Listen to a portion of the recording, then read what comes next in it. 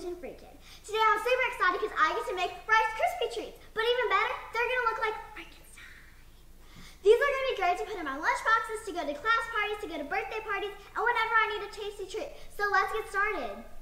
This is what you need to make these delicious Rice Krispie treats. First, you need some Rice Krispies. Duh, they're called Rice Krispie treats. And I use the Malt-O-Meal Rice Krispie treats. They're gluten-free. They even say here, right here. But what's really weird is that the box is not gluten-free, but the bags are. It's just really weird. And you need six cups of this. Which I have right here. Then you need a fourth cup of butter. You need 10 ounces of marshmallows. And if you want to make them look like Frankenstein like me, you need some green food coloring. So, get these ingredients and let's get cooking. No! the first step is to melt your butter.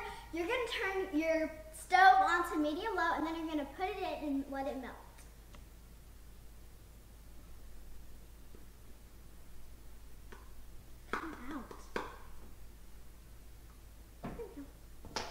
And then I'm just going to let it melt. Just kind of stir it while it's melting a little. Cause yeah. I'm gonna stir it a little bit. I just got all the butter melted, so now I'm gonna be adding the marshmallows, and while I'm adding the marshmallows, I must add the food coloring. And if you want your Frankenstein to be very dark, do a lot. If you don't want it to be so dark, don't do it so much. The more you add, the greener it would be. So first, I'm going to add the marshmallows. Yum! I'm gonna try to get it all in there. There we go. So hurriedly add. I can't open this. I can't open it. Well, I had to have a little help opening this, but it's open. I'm just gonna do. Kind of looks black right now. Frankenstein, Frankenstein.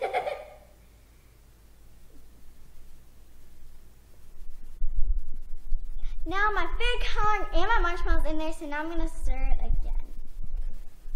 Wow, this looks so cool.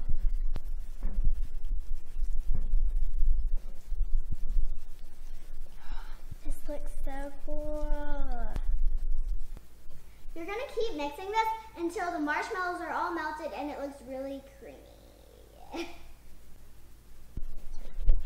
So I'm mixing it right now and it looks pretty melted. So I'm gonna add, I'm gonna turn off the heat and then I'm gonna add the Rice Krispies. Now I'm gonna add my crispy rice. And, once you're, and then I'm gonna stir again and when I'm stirring, I wanna make sure I get from the bottom because I want to make sure everything is mixed in with my marshmallows and my food. Make sure you mix from the sides and underneath so it gets underneath so it gets mixed really well. Next, I got it out of the pan and I put it on this parchment paper. A warning, it, the pan, pot is very hot, so you might want to have a parent help you. So I don't like to get my hands very sticky, so I'm going to be putting another piece of parchment paper on top of the Frankenstein. And I'm going to press down. Ugh.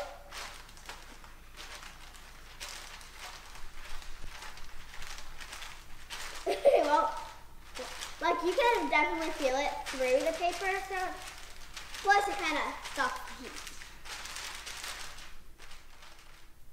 I just flattened all of these out and I let it cool for a couple minutes. So now I'm going to be cutting them with a pizza cutter into some lines. You have to like hold it, I think, because it's steady. And then I'm going to do it into a square. Then I'm going to do this one. And you really have to like press down. Like, those are going to be a lot. That's kind of cut. Then I'm gonna do this one. That didn't even go through. I just cut all these up, so now it's time to decorate. The first step I'm going to be doing to decorate is I'm going to get some chocolate chips and I'm going to melt them in the microwave for 30 seconds. Then I'm going to take them out and stir them. Then I'm going to put them back in for 10 seconds, take them out, stir them back in for 10 seconds, take them out, stir them. And just keep doing this until they're fully melted. I just got my chocolate out of the microwave, so now it's melted. It took forever. So now I'm going to pour it in my piping bag. Uh, let me get this out. I just put this into my piping, piping bag, so now I'm going to make my Frankenstein's their mouth. It's kind of, they have the stitches, because all Frankenstein's have stitches. Kind of like long stitches. And then I'm going to do some hair. Right here, some more hair. This is looking really good. Okay, so then I'm going to do the same for this one. I think I'm going to just do all of them hair and then I'm going to go to the mouth afterwards. I've got many more to do. This is really fun to do. I think this is just, this is a, like a really fun activity to do. I like it. So now going to be adding eyes to my Frankensteins because they have hair, they have mouths, so they need the eyes. And I'm going to use the um, mini M&Ms, which you can use the candy eyes, but this is what we have, so we're going to use them. I'm just going to dab some chocolate on there so they can stick. So I'm just going to dab it like where I want it, and then I'm going to get the M&Ms. I want them to match, so I'm going to make two like orange or something M&Ms. I'm just going to stick them on the chocolate. This is really messy. Just to dab some cho cho chocolate. And I'm just to get that, and then I'm to put some M&Ms on that chocolate so they stick. So I'm not to do the inside because, I mean, I'm just not. So I'm to do the same thing with the rest of these. These look so good. I can't believe I just made gluten-free Rice Krispie Treat Frankenstein treats. I'm so excited to eat these. Let's eat them. Ah, don't eat me. Too bad. Uh.